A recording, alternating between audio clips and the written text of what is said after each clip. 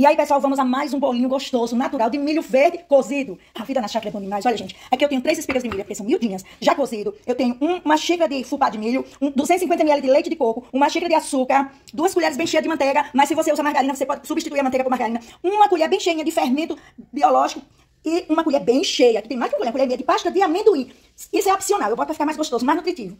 Três ovos caipira, delicioso. E uma forminha untada. Vamos lá, passo a passo? Misturei aqui, gente, ó, os três ovos, a manteiga, o leite de coco e o milho verde. Gente, eu botei aqui, mas eu não estava filmando. Aqui tem os 250 ml de leite, o milho verde, a manteiga e os três ovos. E agora nós vamos bater. Já batidinho, já esse cremezinho. Eu vou e acrescento aqui agora o meu amendoim. Gente, isso é opcional. É pasta de amendoim natural, tá? Opcional. Isso aqui é só porque eu amo. Acrescento o açúcar. E acrescento a fubá de milho. Fubá de milho mesmo, daquela natural.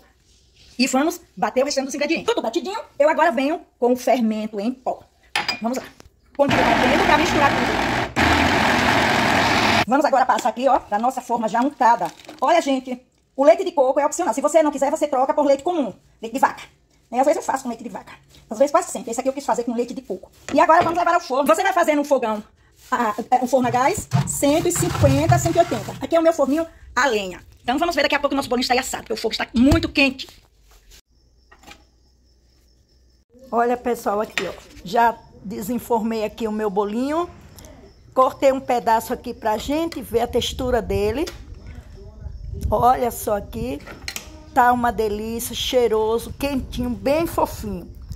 Então você comenta, dá o teu like, compartilha e se inscreve aí. Deus seja louvado.